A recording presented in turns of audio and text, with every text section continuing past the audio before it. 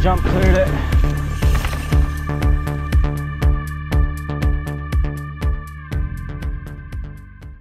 Hey everyone, welcome back to the channel. For today's video, we are here once again at Cuyuna.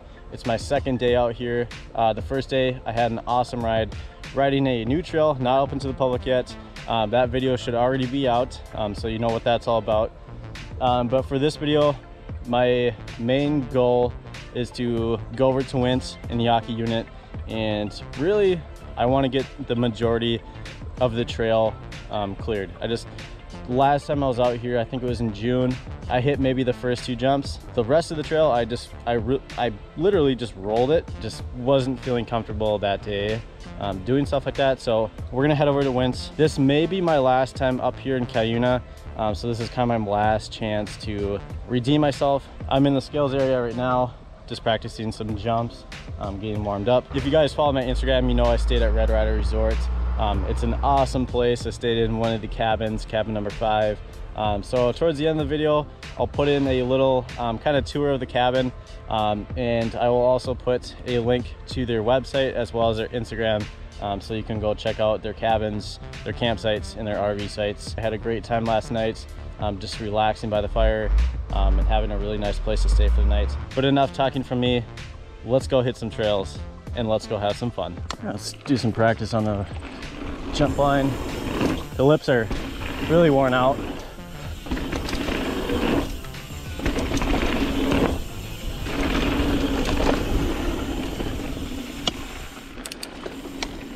All right, everyone, we are on top of the trail, Wince, Winsy, Wince, whatever you want to call it. And hopefully today is the day that I can say I cleared most of Wince. Let's give it a go. Make sure my feet are all good. All right, here we go.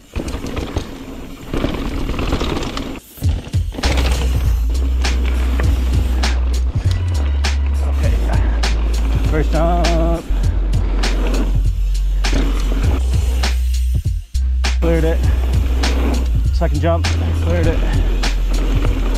Third jump, cleared it.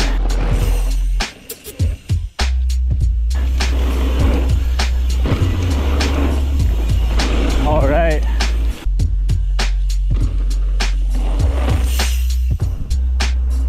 This gets a little tricky here. Not gonna clear that one. Clear that one.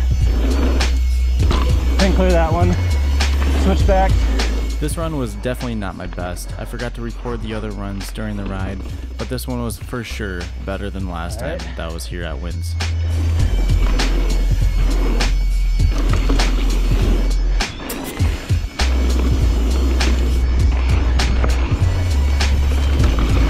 We'll hit that one next time.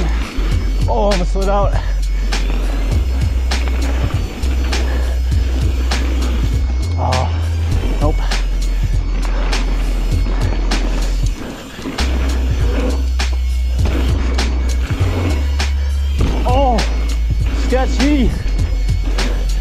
It though.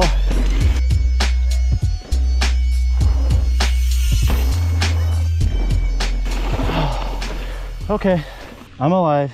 Well, folks, besides a couple of the jumps, I would say that was a success.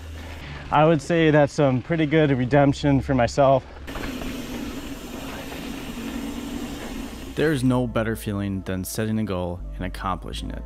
Still some work to be done on my jumping ability, but I feel like I'm definitely going in the right direction that I need to go. I finally was able to commit to the trail Winze and for the most part get about 80% of the trail. There were two jumps towards the bottom um, that uh, I think the berms are getting a little washed out. Um, At this point, I decided to cut myself off. It was not the trail, it was me and my poor setup.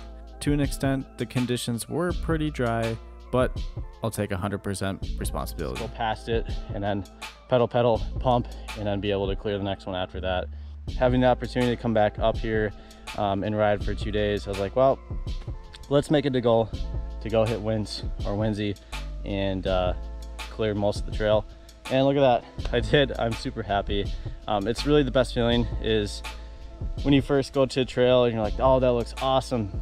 Um, I want to go ride it. And then you get to the trail, you get there and you're like, okay, this is pretty cool, but I just don't feel comfortable um, riding it. Um, obviously on camera, it looks smaller. When you get to the trail in person, um, the jumps are a lot bigger. It looks a lot more intimidating. Um, so that was my real big holdup. This may be my last trip up to Cuyuna. Um, so I definitely wanted to, to be something that I was gonna go for and try my hardest to do it. And I did it, look at that. Amazing. All right, so the riding is done and it is time to sit back and relax. And I am staying here at Red Rider Resort and I am staying at cabin number five. And It is the Manual Pit Palace. I want to give you guys kind of a mini tour of this cabin. Um, Red Rider Resort has a bunch of these cabins. Um, I will put a link to their Instagram as well as I'll put a link to their website so you can check these cabins out um, and all the different rates and availability, as well as they have RV sites and tent sites um, that you can rent out. Um, so just an overview of the outside. We have a picnic table here, fire pit right here, the fire grade, and as well as here is just another um, charcoal grill. And then out here, we just kind of have this nice patio area um, where you can sit on these chairs that they provide. Um, so there's four of them here. Uh, there's also a outside outlet and there's two um, outside lights as well. This has a screen door. So if you want to keep the door open, we have the main area in here. Um, so we have a table over here. We have a mini fridge over here. This at first I thought was a chandelier, but this is actually for um, your clothes to hang up if you need them to dry out. A bike rack, which you can actually detach from in here. And then there's a little mount right here. And boom, there you go. You have a bike stand to do any repairs or any adjustments that you would need from your days out riding. So this is a two bedroom unit, one on the left, one on the right. Um, we'll check out the right one. You have a light switch right here.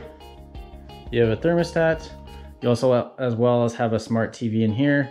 Um, this cabin, they do provide linen.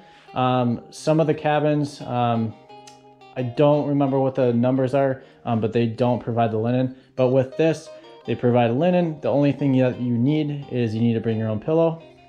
And then we have in here the restroom or bathroom. There I am, hello. And then we have a thermostat in here as well.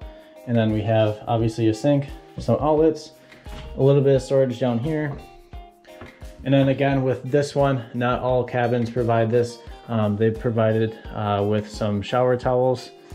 And then behind the door, we have the shower, decent sized shower. And then another cool thing about this is this is on manual mine pit. Um, so cabin number five and all the cabins um, along this stretch um, where they're located is on right on the lake. Um, over there is a dock that goes down to the lake. If it was warmer, I'd probably go swimming, but uh, since it's 50 degrees, I am not going swimming. And the other cool thing is uh, this resort has an access trail to Yawkey unit. Um, so literally you can wake up, get on your bike and head over to um, Yawkey unit and then obviously hit the other units in the recreation center. Even that in itself is freaking sweet um, that they have that available for people who are staying here. If you guys liked the video, go ahead, hit the like button. If you guys want to see more trails and more things like this from me, go ahead, hit the subscribe button. I'll see you guys on the next trail.